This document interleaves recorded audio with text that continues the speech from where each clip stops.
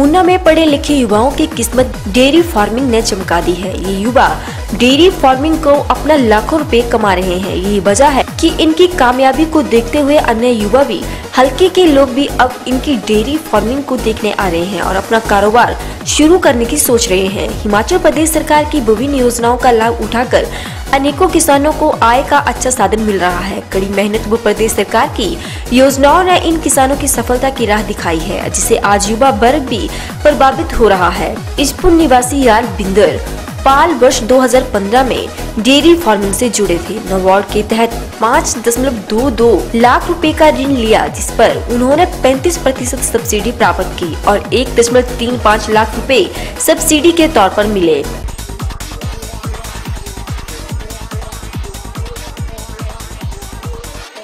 आज याद बिंदर कड़ी मेहनत से प्रति माह लगभग अढ़ाई लाख रुपए का दूध बेच गए हैं। कृष्णा डेहरी नाम से उन्होंने 40 कनाल भूमि पर फार्म स्थापित किया और उसके पास कुल सत्ताईस गायें वो बहसे हैं। प्रतिदिन वह अपने इस डेयरी फार्म से लगभग सवा दो क्विंटल दूध बेच रहे हैं।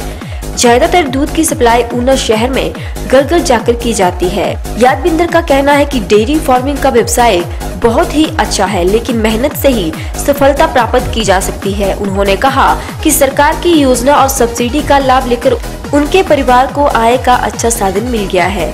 नबार्ड से मिला लोन वे पूरा चुकता कर चुके हैं। पाल ने बताया कि पशुपालन विभाग के अधिकारी उन्हें उनके काम से भरपूर सहायता कर रहे हैं। इसी तरह लोहर बड़ेटा के अजय कुमार चंदेल भी आधुनिक डेयरी फार्म का संचालन सफलता पूर्वक कर रहे हैं।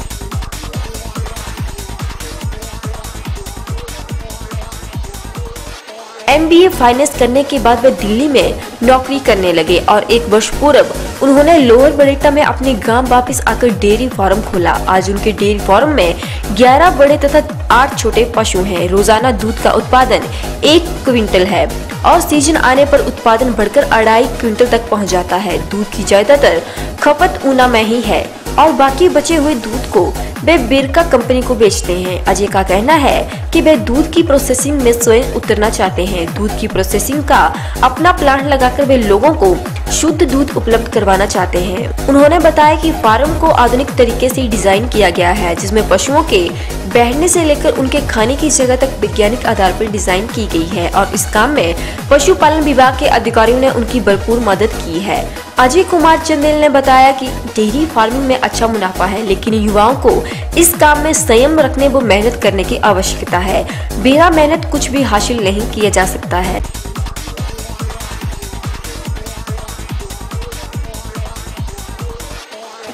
वरिष्ठ पशु चिकित्सा अधिकारी ऊना डॉक्टर राकेश भट्टी ने कहा कि नाबार्ड के तहत सरकार डेयरी के लिए अधिकतम 10 लाख रुपए तक का ऋण प्रदान करती है, जिसमें सामान्य वर्ग के लिए 25 प्रतिशत तथा एस सी के लिए 35 प्रतिशत सब्सिडी उपलब्ध करवाई जाती है। उन्होंने कहा कि जिला ऊना में डेयरी फ़ार्मिंग के लिए युवाओं का रुझान बढ़ा है और पढ़ा लिखा वर्ग भी पशुपालन के माध्यम से जुड़ रहा है।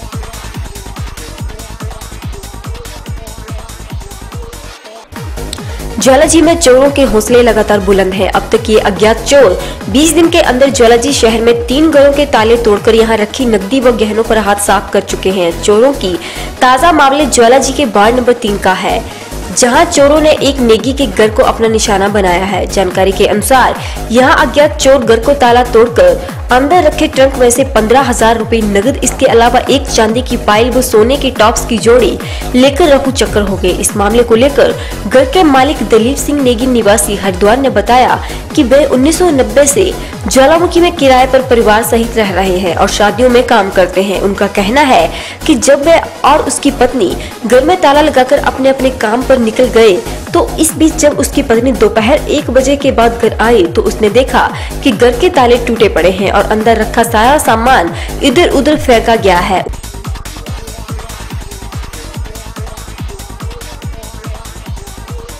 उनका कहना है कि इसके बाद मामले की सूचना पुलिस को दी गई। थाना प्रभारी मनोहर चौधरी सहित एएसआई बलदेव, अन्य पुलिस कर्मी चोरी की वारदात की सूचना मिलने के बाद मौके पर पहुँचे। उन्होंने स्थिति का जायजा लिया और साथ ही पुलिस ने पीड़ित परिवार व आसपास के लोगों के इस मसले को लेकर बयान दर्ज किए। डीएसपी तिलकराज ने मामले की पुष्टि की है। अब तक ज्वालाजी में चोर तीन घरों के ताले तोड़ चुके हैं व इसके अलावा ज्वालाजी बस स्टैंड की बेसमेंट में से एक बाइक चोरी कर चुके हैं। इन मामलों में पुलिस ने चोरी हुई बाइक का मामला 12 घंटे के भीतर ही सुलझा लिया था, लेकिन चोरी की वारदात के मामले में शामिल चोरों को पकड़ने में ज्वालाजी पुलिस अभी तक नाकाम साबित हुई।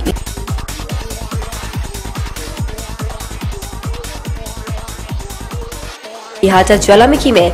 अब तीसरी चोरी की वारदात 20 दिन के अंदर बार नंबर तीन में फिर सामने आई। इसमें पहले चोरी ज्वालाजी बार नंबर दो में 14 अक्टूबर को हुई थी, जहाँ चोरों ने गरीश के घर से सत्तर हज़ार के गहने व बीस हज़ार नगद चुराए थे। इसके बाद 19 को ज्वालाजी बस स्टैंड ऐसी बाइक चोरी हुई थी, जिसे पुलिस ने बारह घंटे के अंदर ढूंढ निकाला था। इसी बीस बाईस अक्टूबर को ज्वालाजी वार्ड नंबर दो के एक घर में चोरों ने पैंतीस हज़ार रूपए नगद व सत्तर हज़ार रूपए के गहने चुराए थे।